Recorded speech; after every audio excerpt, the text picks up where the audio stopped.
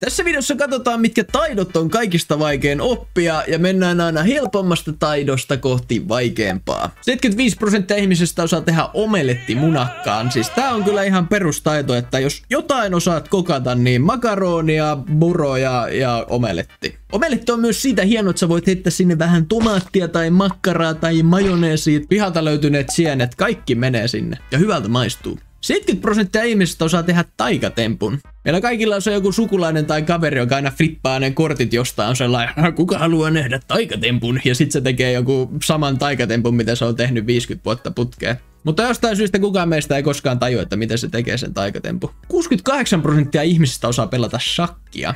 Shakki on sellainen peli, että kaikki ihmiset tietää ne säännöt siitä pelistä, mutta harva ihminen oikeasti oikeasti osaa pelata sitä. Paitsi ne jantterit, jotka sen sijaan, että ne pelas videopelejä puhelimella, niin ne pelaa shakkia. 65 prosenttia ihmistä on hyviä tarinan kerronnassa. Mä en kyllä taju tätä, eikö jokainen ihminen osaa jonkinlaisen tarinan kertoa. Pikkukalle meni kauppaan, osti majoneesi, mutta majoneesista oli mennyt parasta ennen päivää, 13 päivää sitten. Pikkukalle tuli surulliseksi itki ja sitten tuli iso paha mörkö ja söi pikkukallen ja majoneesin. The end. Metsi kuuluu 65 prosenttiin.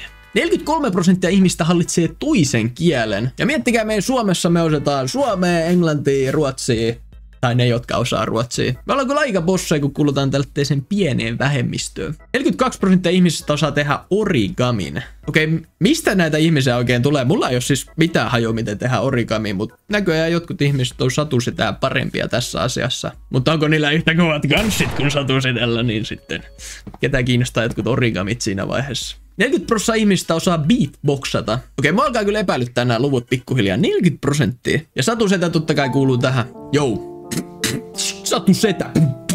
Kovin setä. Kovin pikku rope setä. Kila kanava. Paina ja kommentoi joku hauska asia.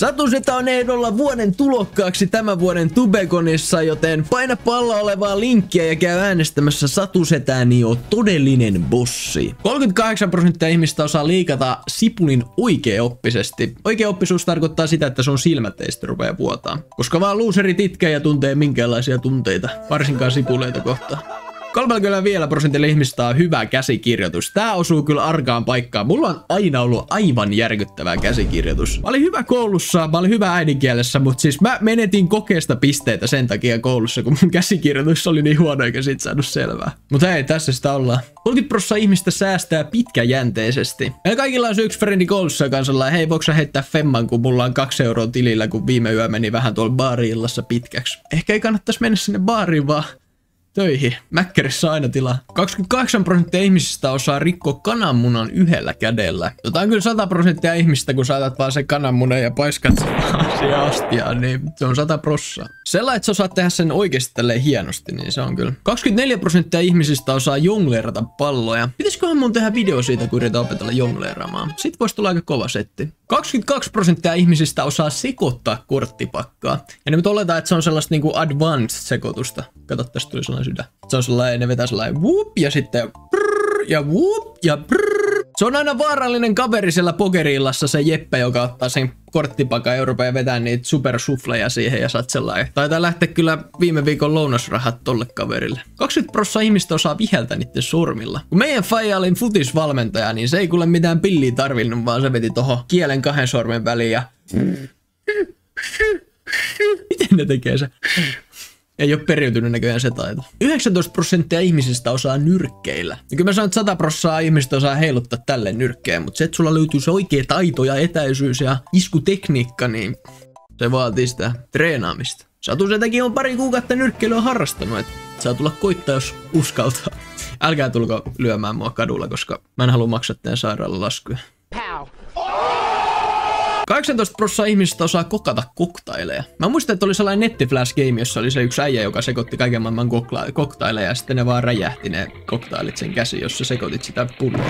Muistaaks joku sen peli? 17,5 prosenttia maailman väestöstä osaa puhua englantia. Se on kyllä siistiä, että englannilla pärjää kyllä aika missä maailmankolkassa tahansa, että aina on joku jeppe, joka osaa englantia. Paitsi sit kun sä oikeasti menet Englantiin, niin niiden aksentista on kyllä vaikea välillä saada selvää. Would you like a cup of tea with these biscuits? biscuits? 17 prosenttia ihmistä osaa ajaa autoa. Tämä on kyllä aika yllättävää, että tää on näin vähän, koska Suomessa se on varmaan joku 80 prosenttia aikuisista on varmaan ajokortti, ellei jopa enemmän. Mitä? 16 prosenttia osaa keulia. Tätä mä en kyllä ihan usko. Mä muistan, että oli pari tyyppiä, jotka osasti yli alasteella keuliin, mutta ei niitä ihan hirveästi ollut. Pistäpä kommentteja, jos sä olit yksi niistä skideistä. 16 prosenttia ihmisistä osaa pyörittää koripalloa. Siis tää on kans yksi sellainen juttu, mitä mä haluaisin opetella kyllä niin paljon. Maailman ennätys on 11 minuuttia ja 22 sekuntia. Toi on kyllä ihan hullu aika. 16 prosenttia ihmisistä osaa puhua mandariinin kiinaa. Mandariinin kiina on maailman vaikein kieli jättää suomenkin kakkoseksi. 15 prosenttia maailman väestöstä osaa hiihtää vai lasketella. Saamelaiset Suomessa on hiihtänyt 8000 vuoden ajan. Oliko mä ainoa, jonka mielestä hiihtokoulussa oli kaikista surkea urheilulaji, mutta laskettelu on kyllä, se on kyllä kiva. 14 prosenttia ihmistä osaa koodata. Sillä teki suomattavasti enemmän bänkkiä kuin YouTubella, kun opettelisi vähän koodailemaan. 14 prosenttia ihmistä osaa vaihtaa niiden auton öljyt. Jos sä masteraat sen, niin sä teet sä alle 30 minuutissa. Kyllähän tosi miehen kuuluu öljyt ja renkaat vaihtaa, että se on, se on miehen tehtävä se. 13 prosenttia ihmistä osaa tiirikoida lukoon. Tiirikoinnista tulee kyllä kunnon sellainen vakuo ja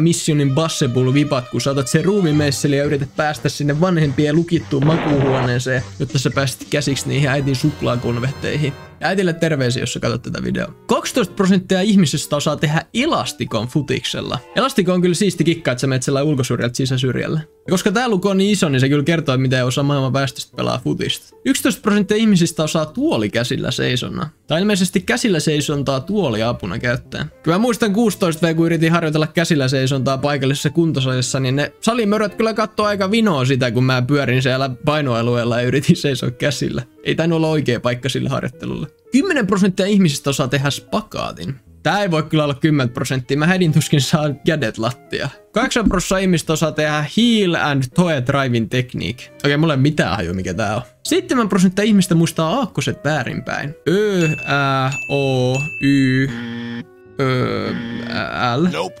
Okei, okay, metsi luovuttaa.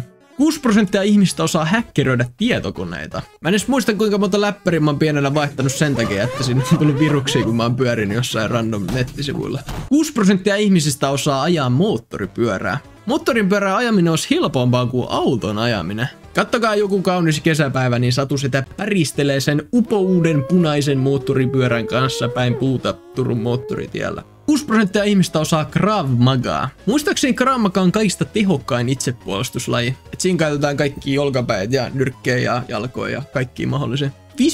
5,8 prosenttia ihmistä osaa ratkaista Rubikin kuutio. Mä muistan, kun mun veljet sai joululahjaksi Rubikin kuutio, ja jokainen meidän perheestä opetteli ratkaise sen Rubikin kuutio, paitsi meikäläinen. Mä osasin ratkaista vaan ne kolme viimeistä vaihetta.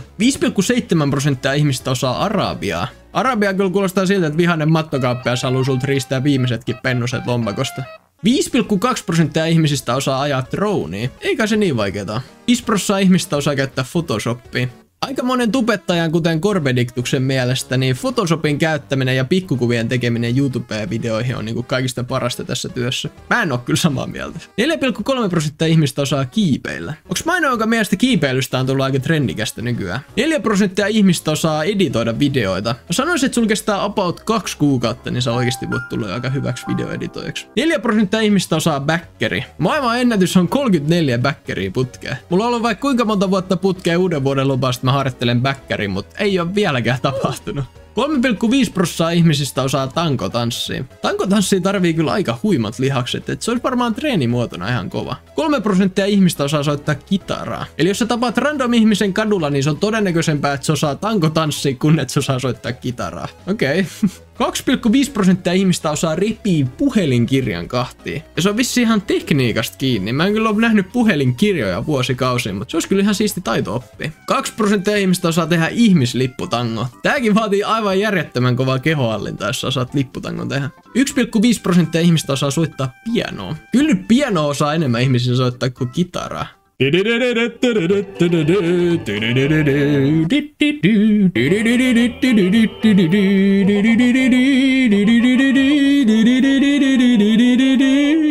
Miksi mä rupesin soittaa Trololo-songia pianolla? 1,2 prosenttia ihmistä osaa driftata autolla. Kaikki ihmiset osaa driftata autolla, jos on vaan tarpeeksi rohkeita ja tarpeeksi liukasta. Menisin muuten kuolla tuossa pari viikkoa sitten, kun Frendi vähän driftas, mutta ei siitä sen enempää. Yksi prosenttia ihmisistä osaa kirjoittaa molemmilla käsillä. Mä en keksi mitä muuta hyötyä tästä olisi kuin se, että jos sulla on toinen käsi paketissa, niin sit sä voit kirjoittaa toisella kädellä. 0,6 prosenttia ihmistä osaa latinaa.